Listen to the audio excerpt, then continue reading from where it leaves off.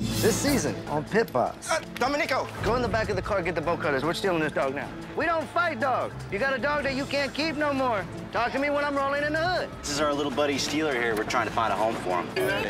No way. If I don't find this dog a home, that's a death sentence. We have a family of pit bulls. What do you mean a family? She just gave birth to 10 babies. Ten babies? Oh! Get your car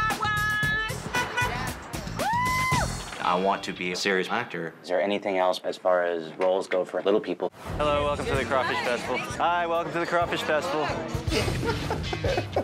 I'm gonna pinch you. Come closer, dang. Want to put me in the splits? Nice. Uh, uh,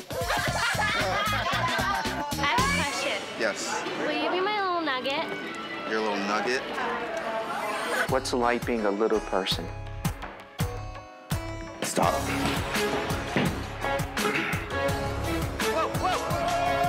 Dude! We don't do the contract. I get sued. You guys lose your job. Do I look stupid? You couldn't even act in a damn Oompa Loompa outfit for an hour. I'm done. Shut up! Worst case scenario is paralysis. Let's go. Let's get out of here. Hey! That's my dog, my Have a nice day and do what the hell you gotta do.